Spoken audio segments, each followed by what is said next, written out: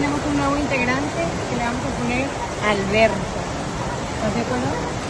El octavo adoptado. Como que no me ladre, los otros siete siempre me ladran, pero al menos si me ladra, me voy a acordar para siempre del ciclón Alberto, que trajo mucha lluvia. Beto, Bueno, estamos viendo aquí gestiones y distintas necesidades que tienen las personas.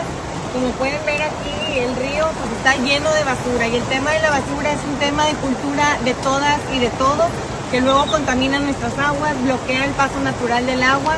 Entonces, pues les pedimos a todos ayudarnos, como quiera, pues Limpia León nos va a ayudar a hacer eh, toda la limpieza que se tenga que hacer de estos arroyos y de los distintos deslaves que hubo aquí en el Cerro de la Campana. el, el jueves llegó el agua hasta acá.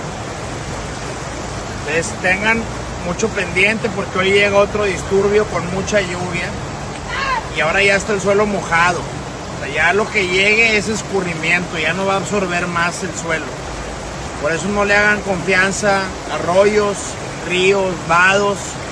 Cero confianza, cuiden a los niños y sobre todo si tienen troncos, hay que marcar a protección civil para venir con una sierra a cortarlos porque luego se hacen embudos y tapones.